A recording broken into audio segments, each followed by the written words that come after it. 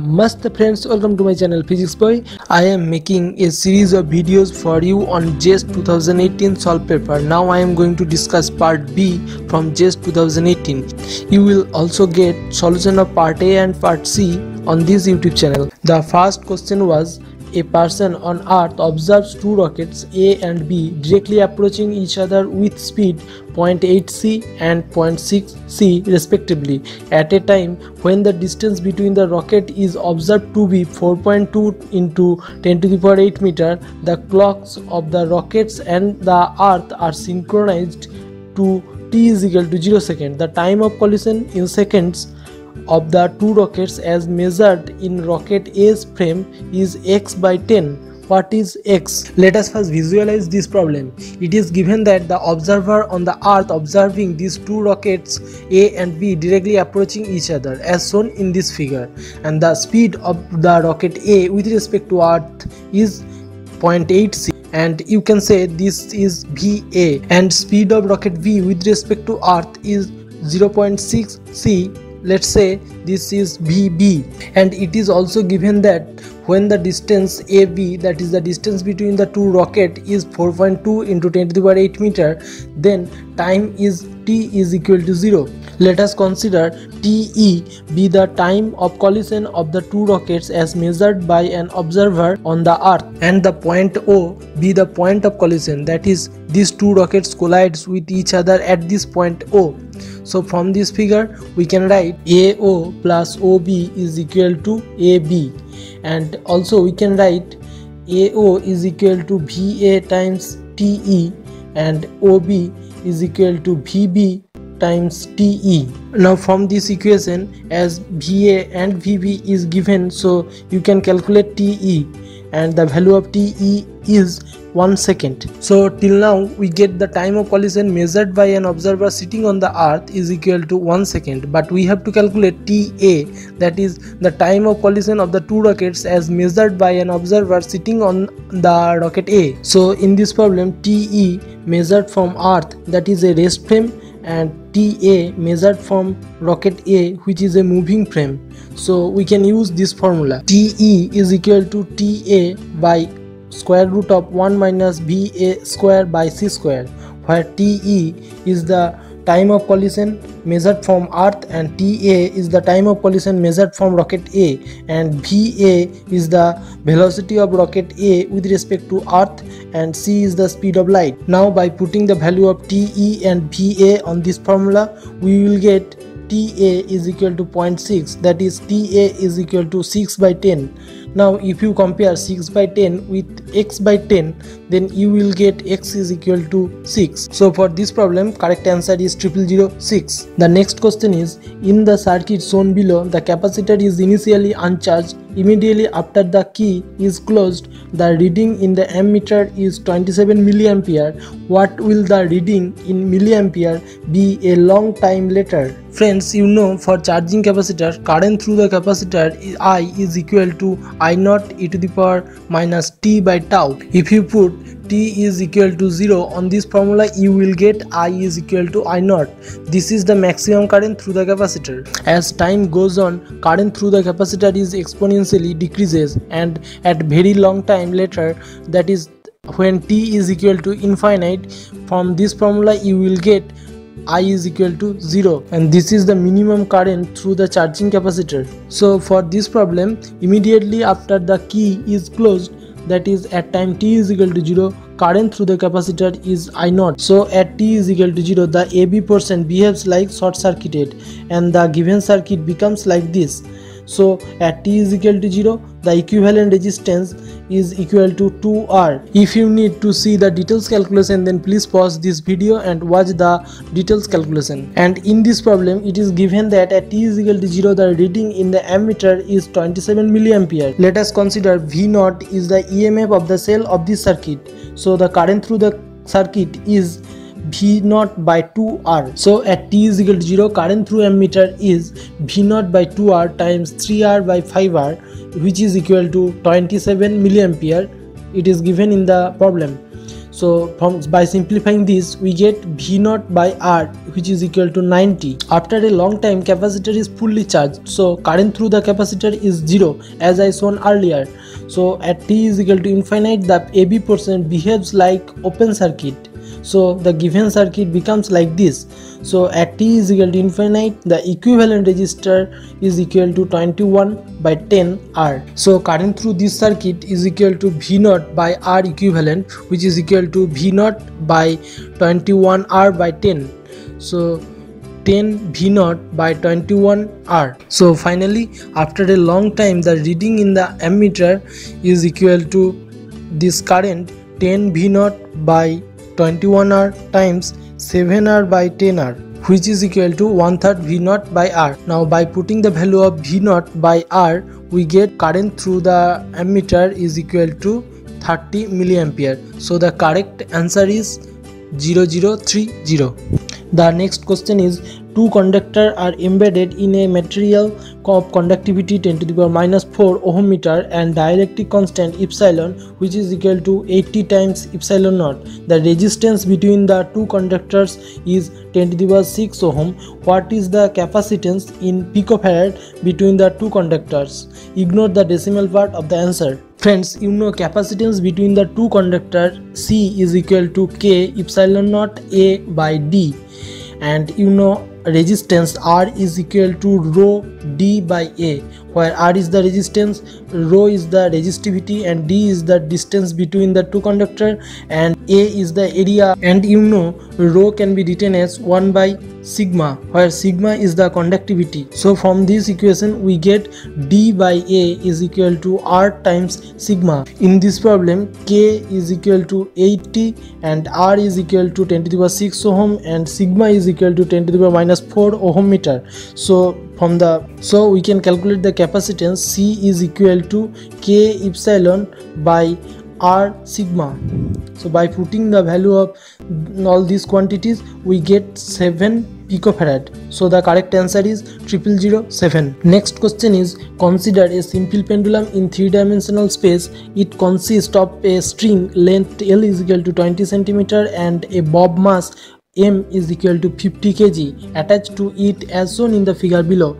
The acceleration due to gravity is downward as shown in the figure with a magnitude g is equal to 10 meter per second square. The pendulum is pulled in the xz plane to a position where the string makes an angle theta is equal to pi by 3 with the z axis. It is then released with an angular velocity omega radians per second about the z axis.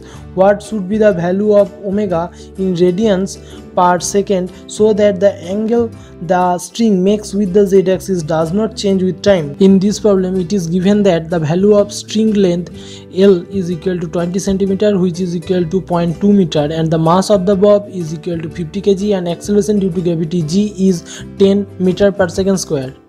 From this figure you can see all the forces that is acting on the bob of the pendulum where T is the tension of the string and R is the radius of the circle on which the bob is rotating with an angular velocity omega and m omega square R is centrifugal force due to the rotation of the bob.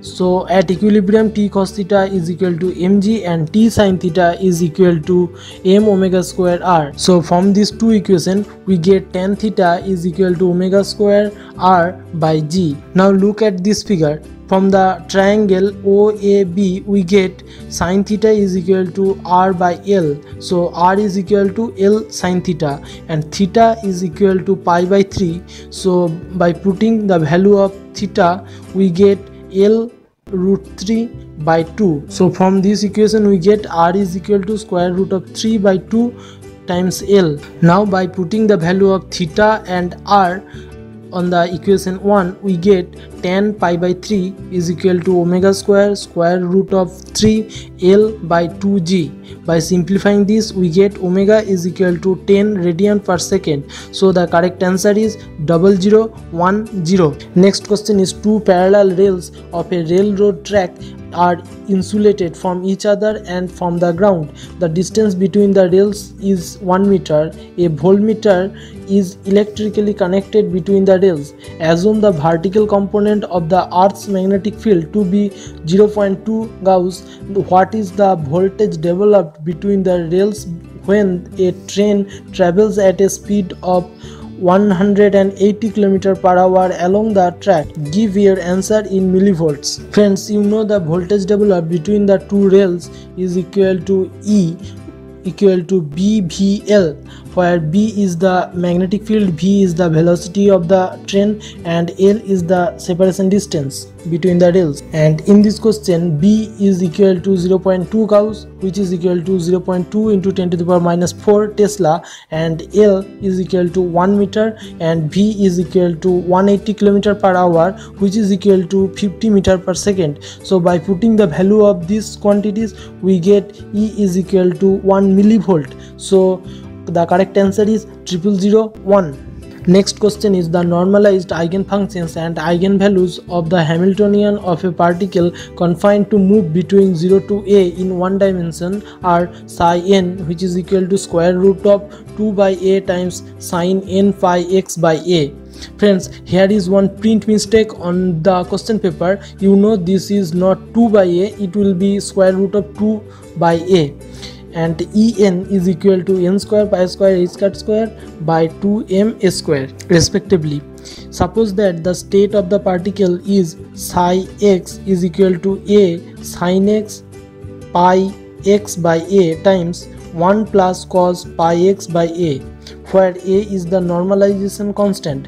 If the energy of the particle is measured, the probability to get the result as pi square h cut square by 2m a square is x by 100 what is the value of x? The given state of the particle is psi x is equal to a sine pi x by a times 1 plus cos pi x by a. You can simplify this function by using trigonometry and by simplifying this we get a sine pi x by a plus a by 2 sine 2 pi x by a this is not a normalized wave function so we have to normalize it.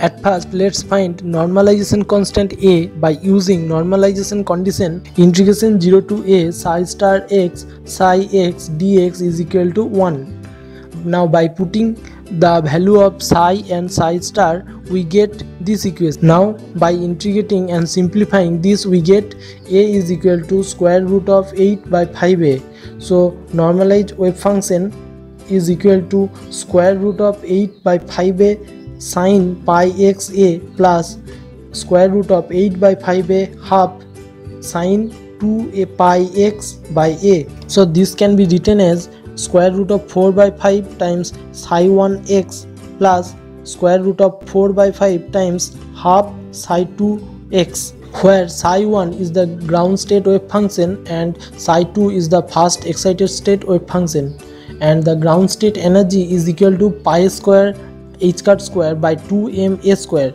so the probability to get the energy eigenvalue which is equal to pi square h cut square by 2m a square is equal to 4 by 5 which is equal to 80 by 100. So comparing this with x by 100 we get x is equal to 80. So the correct answer is 0080. The question was consider the transistor circuit shown in this figure. Assume VBE is equal to 0.7 volt and VBB is equal to 6 volt and the leakage current is is negligible. What is the required value of RB in kilo ohms if the base current is to be 4 microampere? Let us first consider this is loop 1. Now on this loop you have to apply KVL. By applying KVL you will get VBB minus VBE is equal to IB times RB. From this equation you have to find base resistance RB where VBB VBE and IB is given on this question. So by putting the values of these quantities you will get this equation. By solving this equation you have to find base resistance RB in kilo ohms. By solving this equation you will get 1325 kilo ohm. So the correct answer is 1325.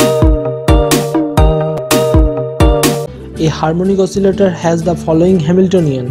It is perturbed with a potential V is equal to lambda times x to the power 4. Sum of the matrix elements of x square in terms of the expectation value in the ground state are given as follows where ket n is the normalized eigenstate of h naught corresponding to the eigenvalue en is equal to h cut omega times n plus half Suppose del E 0 and del E1 denote the energy correction of the order of lambda to the ground state and the first excited state respectively. What is the fraction of del E1 by del E0? Now I am going to solve this question in three different methods. So watch this video till the end to get three different types of solution which will also help you for future examination okay let me first write the first order energy correction of harmonic oscillator for any state due to perturbation term lambda x to the power 4 del en is equal to lambda times bra n x to the power 4 ket n.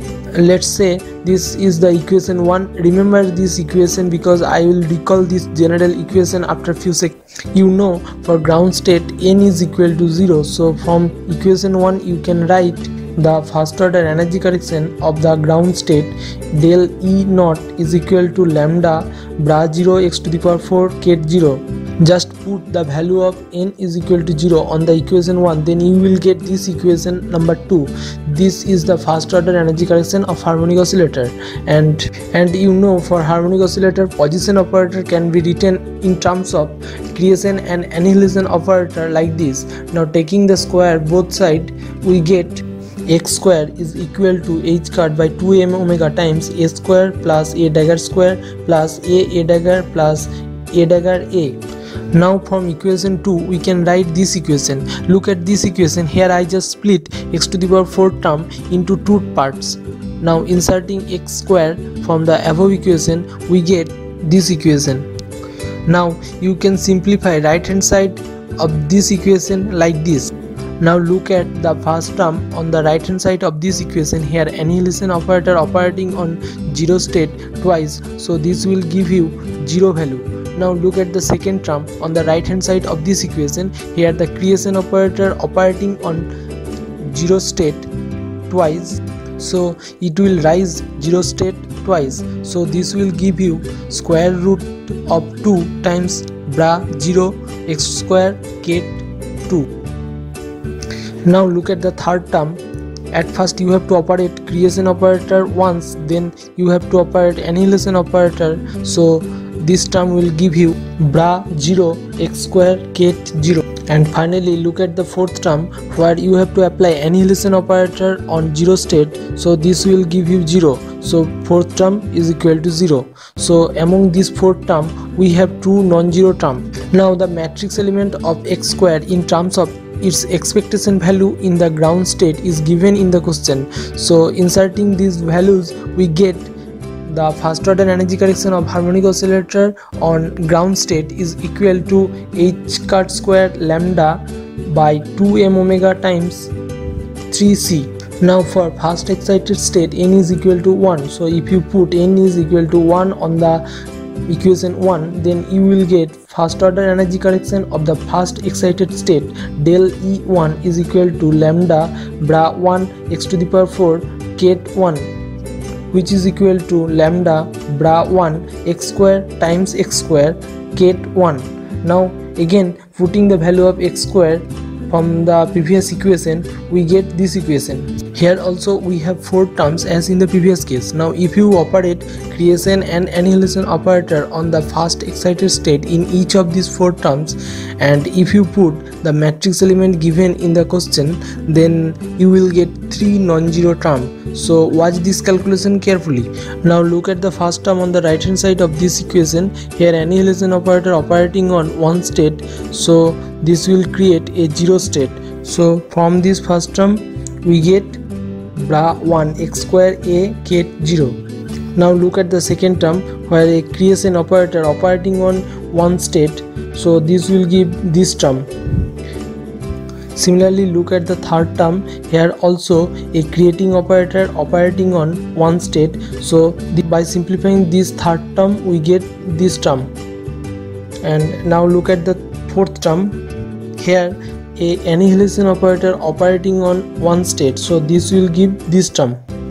Each of these four terms contain either creation operator or annihilation operator again by simplifying this four term one by one we get first term is equal to 0 second term is equal to this and third term equal to this fourth term equal to this.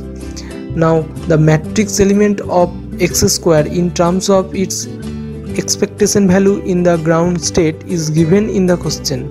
So by inserting these values we get first order energy correction of harmonic oscillator on the first excited state is equal to 15c lambda h cut square by 2m omega.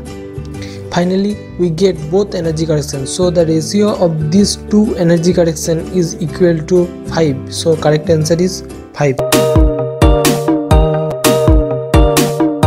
Now I am going to discuss the second method. This is the given Hamiltonian of one-dimensional harmonic oscillator with perturbation lambda x to the power 4. You know the ground state wave function of harmonic oscillator is written as psi naught which is equal to m omega by pi h cut whole to the power 1 4th times e to the power minus m omega x square by 2 h cut and the wave function of the first excited state of harmonic oscillator is written as psi 1 which is equal to m omega by pi h cut whole to the power 1 4 times square root of 2m omega by h cut times x times e to the power m omega x square by 2 h cut. Now you have to calculate the ratio of first order energy correction of first excited state and first order energy correction of ground state of simple harmonic oscillator. At first I am going to find first order energy correction for the ground state from the time independent perturbation theory. First order energy correction of ground state del E naught is equal to k psi 0 lambda x to the power 4 bra psi 0. Now by putting the value of ground state wave function psi 0 here we get this equation.